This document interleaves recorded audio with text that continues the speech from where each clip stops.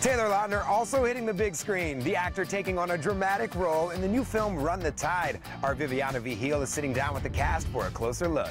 I want mom. You don't have mom.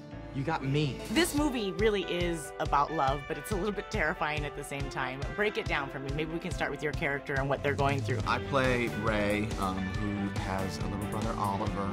I had to raise Oliver since he was four years old because Lola has been in prison. He essentially kidnaps Oliver, and they go on a little road trip to the California coast, and she's in pursuit. As they're both traveling down this road, away from each other, they're actually getting closer to where they need to be in order to heal. I'm not gonna let her take him from me. What do you want the audience to really take from this movie? I feel like so many people my age can relate to what Ray is going through in this movie.